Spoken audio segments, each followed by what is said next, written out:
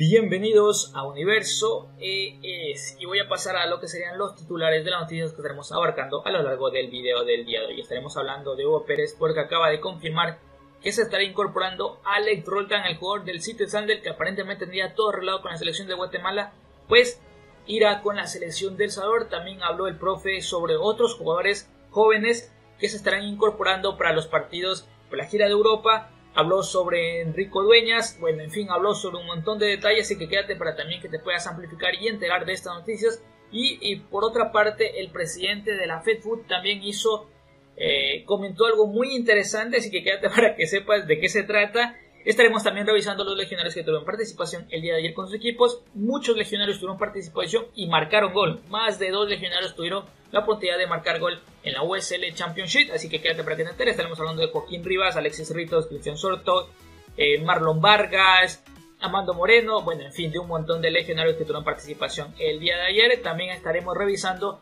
los equipos a los que se estarán enfrentando o los rivales que se estarán enfrentando los equipos del Salvador en la liga de CONCACAF y también eh, estaremos hablando de un par de declaraciones que ha dado Mario González, el portero de la selección. Y sin más, pues empezamos. Recuerda que si quieres salir en el próximo video, no te olvides hacérmelo saber en la cajita de comentarios. Suscríbete, comenta y comparte con tus amigos el video. Y sin más, empezamos. Hugo Pérez confirma la incorporación de Ale Roldan a la selección. Bueno, el técnico Hugo Pérez, en entrevista con el programa Fanáticos Plus, comunicó, que el jugador Ale Roldán vestiría eh, lo que sería la, camiseta de la selección y que estaría iniciando sus papeles para poderse ya incorporar a la selección, que estaría en el tema de los papeleos y todo eso, así que tenemos que esperar con calma aún, pero aparentemente el jugador ha decidido representar a El Salvador. Pérez había adelantado eh, luego de la clasificación a la octagonal que se iban a incorporar refuerzos juveniles que militan afuera de, de El Salvador, en el extranjero, para los encuentros amistosos o la gira previa a lo que sería la Copa de Oro comentó sobre este tema que algunos jugadores eh, están en formativas o están en los clubes Los Ángeles FC de los Estados Unidos y el Houston Dynamo, en los cuales eh, no reveló los nombres, pero que dijo que dos o tres de estos jugadores podrían incorporarse para lo que sea la gira y pues que es lo que piensa y que quiere que estos jugadores jóvenes pues se vayan empapando, que vayan teniendo ese roce con la selección mayor y que les vaya generando ese amor por la selección y que más adelante pues no duden en representar a la misma. También habló sobre el tema de Enrico Dueñas, eh, que dijo que no descarta para los partidos amistosos y que todo también dependerá de su club, el Vitesse, el club de los Países Bajos, de Holanda, como mayormente lo conocen, pues que ah, lo permita prestar. El jugador dice que ya está parte de lo último que le falta de su recuperación, que estaba lesionado, pero que al no ser eh, eh, partidos de fecha FIFA, pues indudablemente tienen que esperar a lo que les pueda comentar el Vitesse porque ellos también van a arrancar lo que sería la pretemporada allá en los Países Bajos, así que aún no descartemos a Enrico Dueñas que esté en algunos partidos amistosos, pero si ya está bien y por 100% recuperado seguramente esté en la Copa Oro porque es del agrado y del gusto del DT. También habló sobre el tema del compromiso y la disciplina en la selección, que dice que son dos aspectos que no negociará y que quiere a sus jugadores que estén totalmente comprometidos con la misma. Eh, también comentó que la gira por Europa en su mayoría serán jugadores nacionales, y más algunos juveniles del extranjero, que ya habían mencionado ese tema, ya que por no ser fecha FIFA será complejo el contar con algunos legionarios que anteriormente ya había contado. Para finalizar, el presidente de la FedFood comentó que en los próximos días saldrá la nueva indumentaria, la nueva camiseta de la selección de El Salvador, así que también pendientes de ese lanzamiento de la camiseta. Rápidamente revisaremos cómo le fue a nuestros legionarios que tuvieron participación con sus equipos en extranjero el día de ayer. Empezamos en la UCL Championship porque Joaquín Rivas marcó gol y aportó para la victoria de su equipo el FC Tulsa que venía de una racha negativa de tres victorias, de tres derrotas al hilo. Y pues eh, Joaquín Rivas, recordemos que no sé mucho estuvo con la selección, se baja del avión y termina marcando para su equipo el FC Tulsa.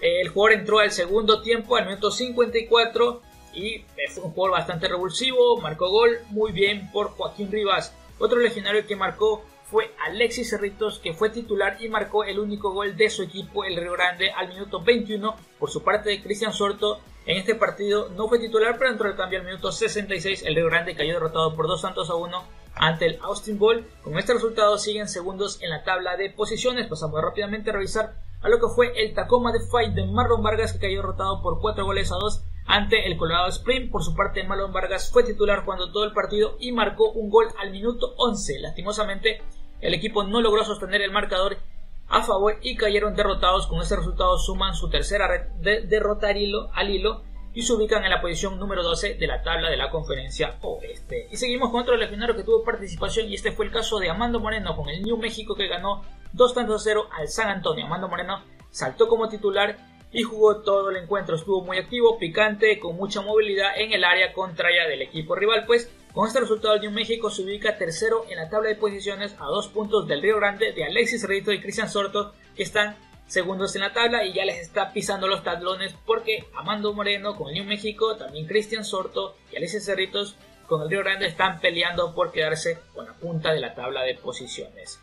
Otros legionarios que tuvieron participación en la USL Championship fue Roberto Molina, que fue titular con, los, con las Vegas Light, que ganaron 4 goles a 3 ante los Ángeles Galaxy 2. Roberto Molina fue sustituido al minuto 81, fue titular y salió para el minuto 81. Prácticamente jugó todo el encuentro con este resultado y tras varias fechas en la última posición de la tabla suben dos puestos y se ubican en el lugar número 13. Recordemos que también vienen de otra victoria. Yo sé que no les gusta escuchar, pero también Tomás Romero tuvo participación, fue titular con las Vegas Light. Recordemos que él está en Los Ángeles, pero eh, usualmente lo ceden para esos partidos con su filial. El Sedat de Ronnie Arevalo ganó por dos goles a uno ante el New York Red Bull Sub-23 eh, esto por la USL 2 siguen eh, a 3 puntos de líder en la segunda posición. Pasaremos rápidamente a hablar de Nelson Flores y Nelson Martínez con el North Carolina que cayeron derrotados por dos tantos a uno ante el Greenbite. Ahora sí, Alianza FAS y Once Deportivo ya conocen sus rivales en la liga CONCACAF. Los tres representantes del Salvador, Alianza, FAS y Once Deportivo ya conocen sus rivales para las próximas ediciones de la liga CONCACAF que arrancarán el 3 de agosto en la serie se jugarán tanto de ida y de vuelta. El campeón nacional FAS jugará en contra del el cuadro canadiense Hamilton Forget y por su parte el Once Deportivo también jugará la fase previa y su rival son los cremas de comunicaciones de la Liga de Guatemala. El Alianza está, está posicionado ya en los octavos de final y pues bueno tendrá que esperar su rival entre los encuentros entre Once Deportivo y Comunicaciones que ya los amigos mencionado anteriormente. Y antes de pasar a finalizar, estaremos hablando de la última noticia, Mario González, eh, que dice lo siguiente, esperamos dar la sorpresa en, el octagonal final, creo que es una etapa de inicio con ese nuevo cuerpo técnico, la verdad que se ha ido viendo de una forma bastante bonita porque el grupo está compenetrado con lo que quiere y con lo que se viene para nosotros y esperamos dar la sorpresa en el octagonal. Fue lo que mencionó rápidamente, voy a pasar a saludar a las personas que me pidieron salir en este video.